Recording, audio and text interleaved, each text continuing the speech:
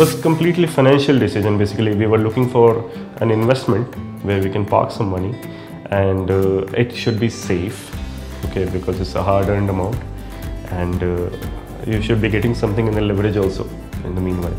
So we were looking for this option from the financial perspective. I belong to Bihar, but I am got settled in Pune since last 10 years. I am a data analyst by profession in British Petroleum. And uh, I got to know about uh, this SURE unit, like Happiness Street, from one of our ex-neighbors who had bought uh, in Yashwin Hinjewadi. Okay, so I went for flat systems, but I got to know this opportunity from them that this is something called as residential come commercial. So I said, wow, that's fantastic, and it takes lesser amount of, of capital, and then you have a fixed amount you will be getting as a uh, rent for 10 years.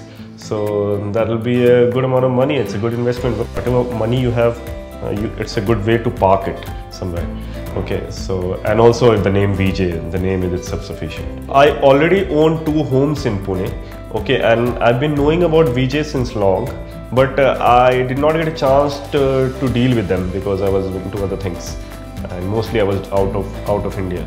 So I heard about it uh, from one of our friend, uh, and uh, they said like VJ, it binds with your emotions okay? You have to go you have to inaugurate your own home and uh, that VJs allow you to see your home getting constructed put your own bricks uh, while being at home. So that that's really connecting when you buy your home. No other builders do that okay? And also from the documentation perspective from uh, the legals everything you don't need to worry. If it is VJ you don't need to worry about anything.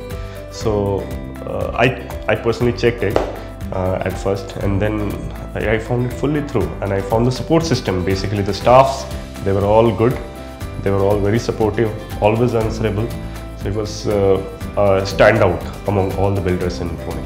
Actually concept ही बहुत पसंद है हम लोगों को हमने बहुत सारी चीज़ें देखी इन्वेस्टमेंट के लिए जैसे flats one B H two B but उससे कहीं ज़्यादा मीन्स अलग था ये हम जब फ़र्स्ट टाइम गए हमें एक्चुअली शॉप लेना था बट वो मीन्स शॉप का जो कॉस्ट है उसके अकॉर्डिंग ये कॉस्ट तो हमारा मैच हो रहा था यहाँ पे तो देन हमने ये डिसाइड किया.